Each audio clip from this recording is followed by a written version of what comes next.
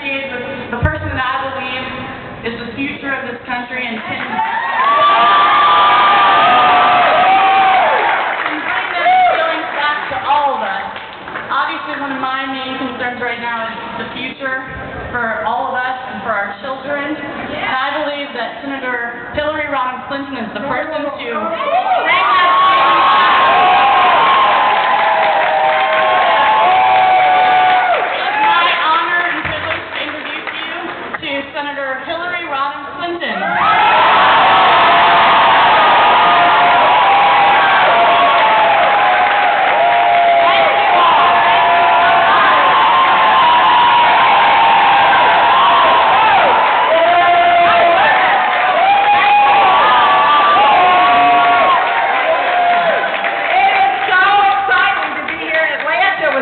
you.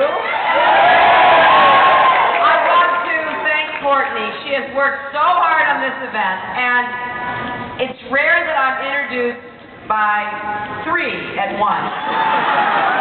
She has been extraordinary, and I'm very grateful to her and to her husband, Clint.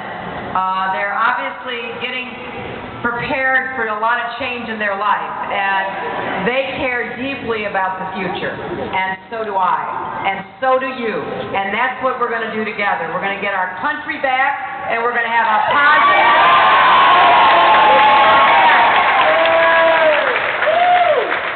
I want to thank my dear friend uh, Gordon Giffin, who was our ambassador to Canada, who uh, happens uh, to be uh, Courtney's uncle. And uh, Gordon has been a great, great help to me. And another good friend of mine from the state legislature, uh, Calvin Smyre, who is also here. And I want to thank all of you for coming out. And Courtney, we're going to let you sit down, or if you, you know, you know, when I was when I was that pregnant, I was trying.